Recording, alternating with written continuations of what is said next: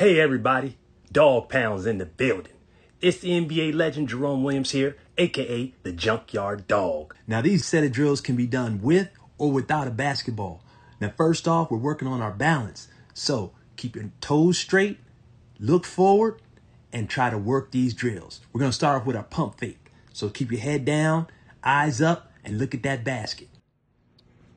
Three.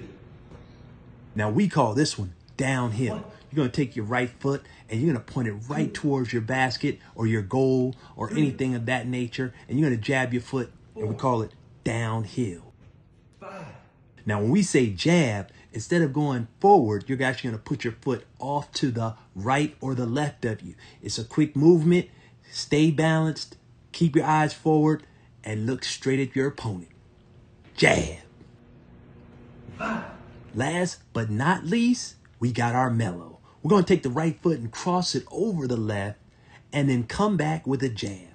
Stay balanced, keep your eyes forward, and look at your opponent. Remember, this is called mellow. Fourth up position. Mellow.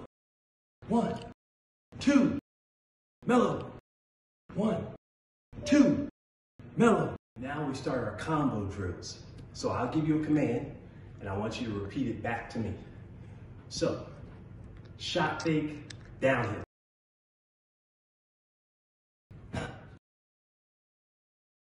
Shot fake, downhill, jab.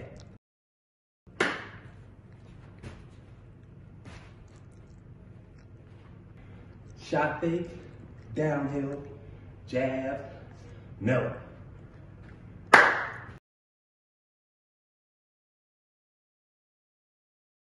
Ooh, that's a good one. Dog Pound. Thanks for working out with me today. Stay safe.